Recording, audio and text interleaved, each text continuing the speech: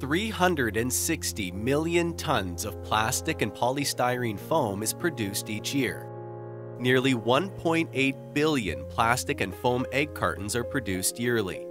Only 9% of plastic and foam is recycled. The rest is trashed or burned, causing major environmental issues.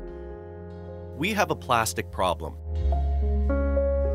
Plastic and polystyrene foam packaging must go. Let's save the environment, one egg carton at a time.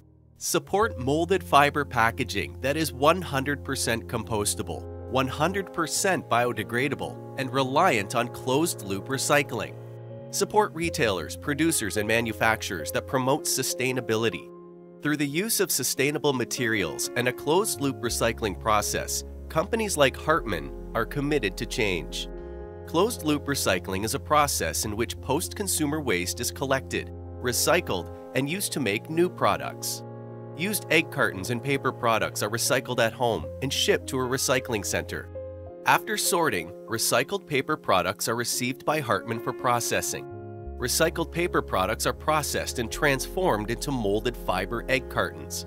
Egg cartons are packed and shipped to egg producers and retailers. Once the eggs are purchased, the closed-loop process begins again, dramatically reducing the volume of single-use plastics and polystyrene foam, helping to save our environment. Together, let's pledge to ditch plastic packaging